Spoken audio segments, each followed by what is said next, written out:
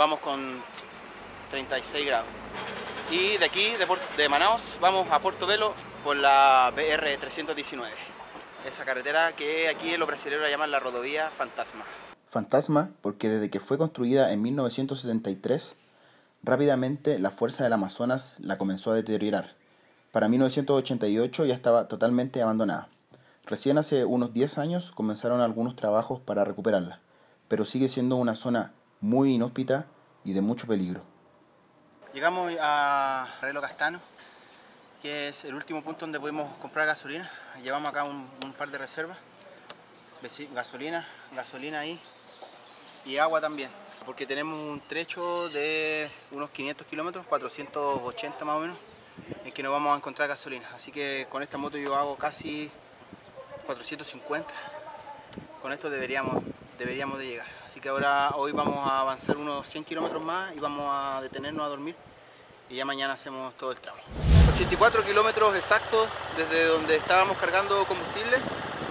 Eh, tenemos, tuvimos asfalto, regular estado, algunos en bueno, la verdad que es muy extraño porque hay sectores en que está perfecto, se nota que lo han hecho recién, luego hay hoyos, qué sé yo. Y bueno, aquí ya comienza el tramo de tierra. Tenemos 400 y algo kilómetros que si es que no llueve no deberíamos tener problemas. Pero con lluvia dicen que es complicado. Así que esperemos que no caiga agua. Ya nos cayó un poquito de agua atrás, pero se ve que está despejado para adelante. Seguimos.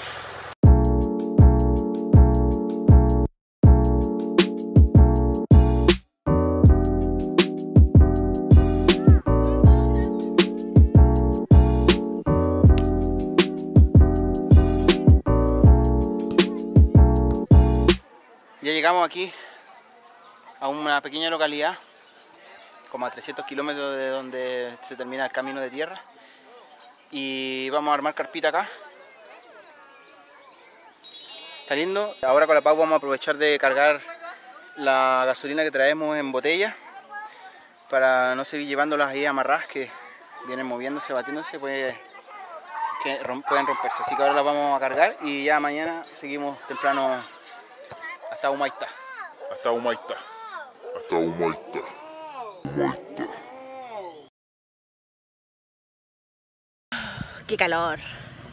Salimos a las 8 un cuarto de la mañana, llevamos, bueno, son las 11 y hemos avanzado 90 kilómetros. La verdad que hay un barro jabonoso que es imposible de avanzar y nos encontramos con un camionero, veníamos atrás y se le tumbó el camión, así que van a tratar de ayudar, de moverlo.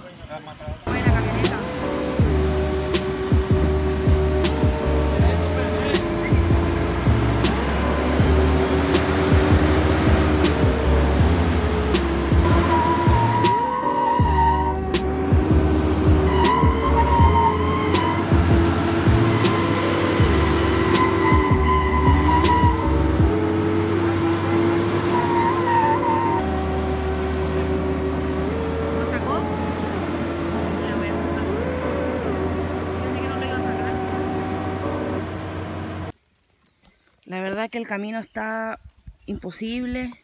Este barro está jabonoso. Y ahí tratando de limpiar un poco las calugas porque está tan pegado al barro que es como andar con neumáticos de asfalto. ¿Algo que agregar? Que miren la nube que viene allá. Lluvia. Lluvia, se escuchan los truenos. Tuvimos que pasar la moto caminando en este puente. La verdad que... Muy muy resbaloso, está muy feo el camino. Y no sé cómo este puente puede soportar el peso de los, de los camiones. Pero así está, no, no se puede. Si sigue así, sigue lloviendo, la verdad es que nos vamos a tener que devolver y un día y medio perdido. Miren, horrible.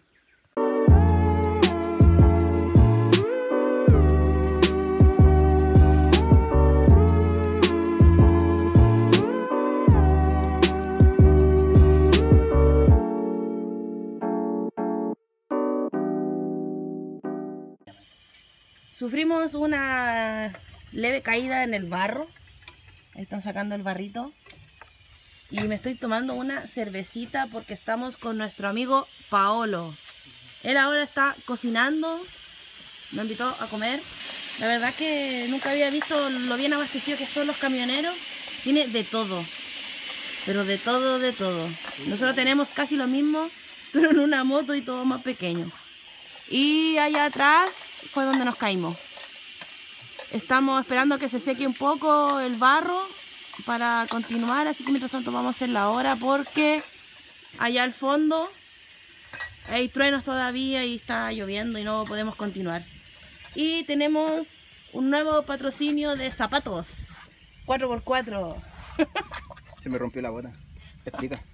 Se rompió la bota, es- estaba hablando, así que le pusieron una super cuerda ahí para que no se abra el zapato. Tudo bem? Sí, tudo bem. Paolo, ¿cuánto tiempo vos está en la estrada? É 12 anos. 2006. 2006 eu comecei a viajar. Ya, y você eh, foi para Chile, Sim, ¿cierto? sim senhor. Sí. Y gustó, él falou para nos, para nós que gostou muito de Chile. Gostei de Chile. Povo bueno, amigo. Se não fosse, nós não tava cá cozinhando e ajudando vocês. Muito obrigado com Paolo. Así que ele agora vai fazer arroz Arroz e um frango. e Um- frango. Na terra de vocês é porro. Pollo.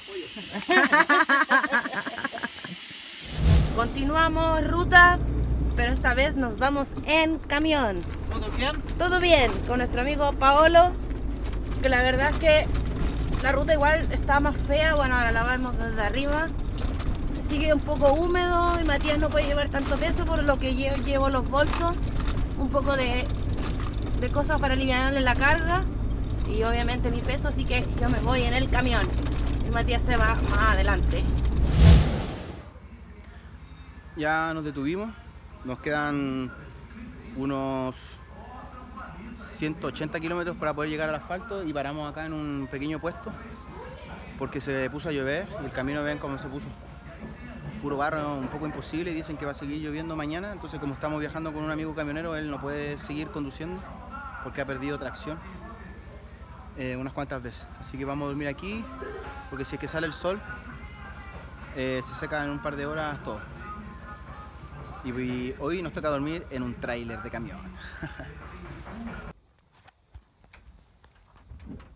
bueno, como les conté, hoy día toca dormir acá en, en el tráiler de un camión. Ya tenemos todo listo, vamos a dormir ahí. Gracias a nuestro amigo Paulo, camionero, que nos ha ayudado. Tenemos aquí una camita. Él está llevando palet, así que nos hicimos una cama de palet. Y, un- y ahí había unas cosas que sirven como de colchón. Así que hoy día a dormir. Por primera vez nunca había dormido en un camión. y afuera, no sé si se ve la verdad. No, no se ve nada. Ya está empezando a llover. Hasta mañana.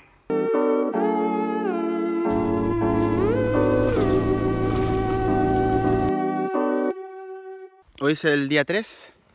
Ya estamos a unos 30 kilómetros de realidades donde puedo cargar el combustible. El camión está un poquito más seco hoy. Aunque los primeros kilómetros igual nos tocó harto barro, así que quedamos todo sucio. Pero ya falta poco, no tiene cara de lluvia, hace calor, se está secando todo, así que bien. La Pau viene por allá lejos en el camión.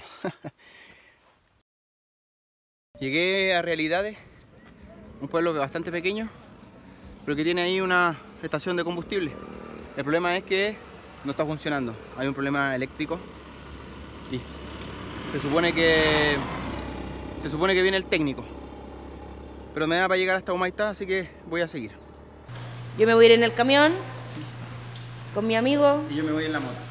Y él se va en moto.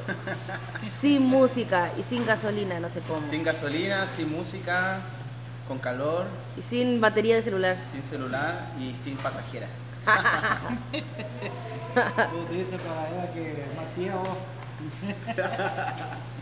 Yo me voy en camión durmiendo con aire acondicionado y tomando abuela. Abuela.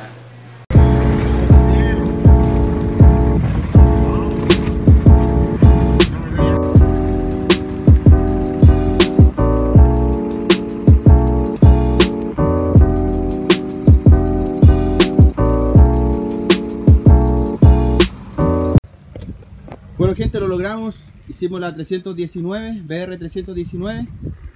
Y aquí ya nos estamos despidiendo de nuestro amigo Paolo, que sigue con su camión.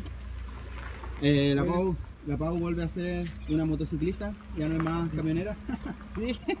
y nos estamos despidiendo de nuestro amigo que sigue viaje hasta Portobelo Bueno. y luego hasta Santa Catarina. Foi um prazer ajudar este amigo na estrada, sua esposa.